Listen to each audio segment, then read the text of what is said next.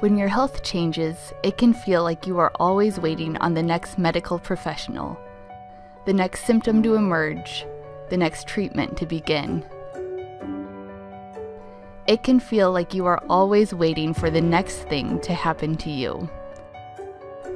But at the core of occupational therapy, we believe that no matter what comes your way, whether it's an illness, an injury, or disability, you and your loved ones still have the power to influence your health in the ways that matter to you. Occupational therapists know that a vital part of healing is staying involved with the life you have worked so hard to build.